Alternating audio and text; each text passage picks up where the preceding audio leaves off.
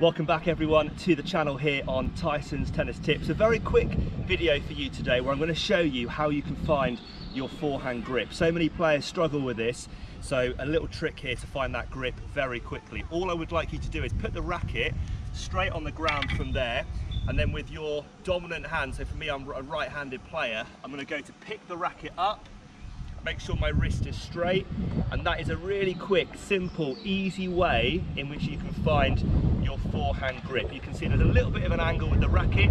I always say to my players who I coach try and get the top of that racket frame to be leading first winning the race as you go to hit the tennis ball. You can see here if I'm using the wrong grip just watch where this tennis ball goes. This is a chopper grip forehand. So go from low to high that ball pushes straight beyond the baseline, no spin, too much height.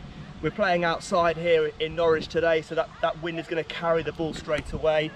So instead, what you want to try and look for is with this forehand grip here, slight angle with the racket face, watch the difference. Much more top spin, the ball, the ball comes down over the net, giving me a greater chance of getting that ball in play and that for you guys is a very quick 90 second video on how you can find your forehand grip.